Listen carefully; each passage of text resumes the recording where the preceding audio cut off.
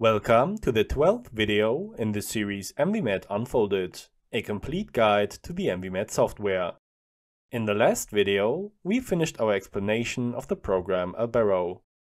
In this video, we will begin to explain the ENVI-met program spaces and the important settings that allow us to create an ENVI-met model area. To access the Spaces program, simply open the ENVI-met headquarter Spaces should be the second program listed under the ENVI-met tab. Once Spaces is open, we can see a 2D grid where we can create an ENVI-met model area from scratch. But before we start creating a model area, we need to understand the available settings and functions that Spaces offers. The first thing we need to do is click on the Edit Area slash Create New Area button. Within the new window that appears, we have a variety of settings we can change in regards to our model area. The first parameter that can be set is the geolocation of our model area. We can either set this information manually or click on the Find Location button in order to use a search engine to find our location for us. Once we have set our location, we need to set the geometry of our model area under the Model Geometry tab. In this window, we can set the size of our model area in each direction, x, y, and z.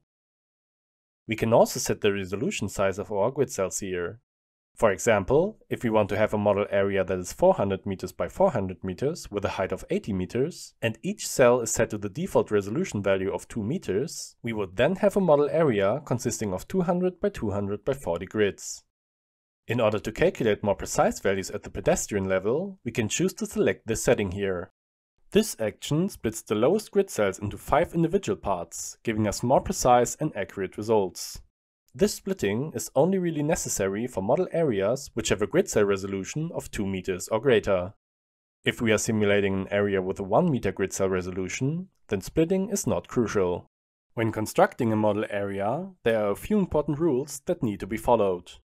For one, we must always have some space between our buildings and the edge of our model area.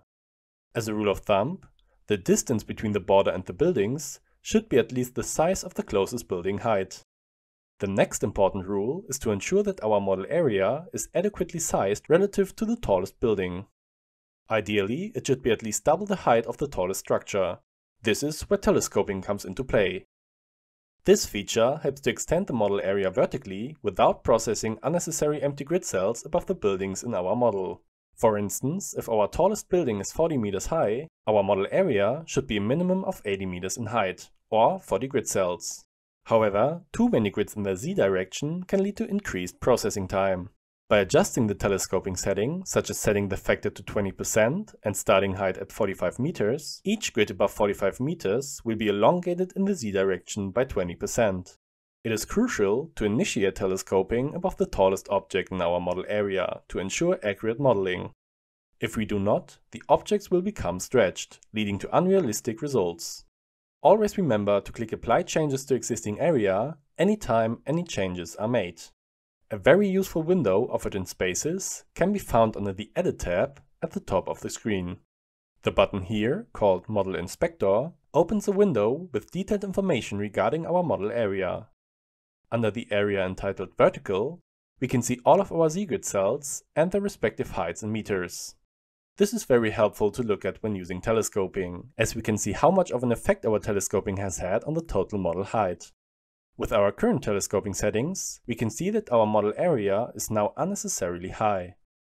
We can either reduce the telescoping factor or reduce the total number of Z-grids in order to achieve a height of around 80 meters.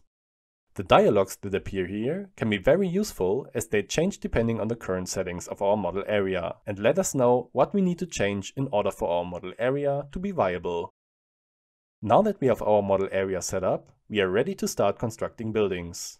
Therefore, stay tuned for the next video, where we will explain how to place buildings, apply materials, and use the 3D view.